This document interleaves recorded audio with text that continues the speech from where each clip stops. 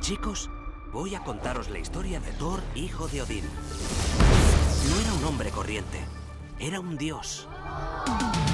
Después de salvar la Tierra por enésima vez, Thor emprendió un nuevo viaje. Pasó de cuerpo fondón a cuerpo de dios. Y después de todo eso, Mjolnir.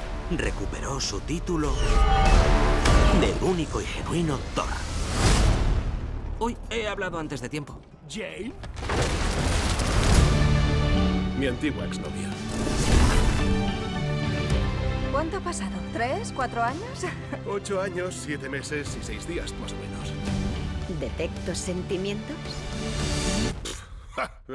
Sí, claro. Lo único de lo que se preocupan los dioses es de ellos mismos. Así que este es mi juramento. Todos los dioses morirán.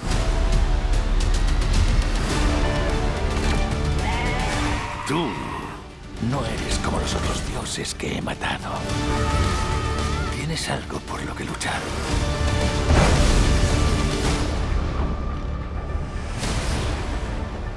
Te quito el disfraz y... ¡Tío, te has pasado! ¿Le ayudamos? En un ratito. ¿Uvas?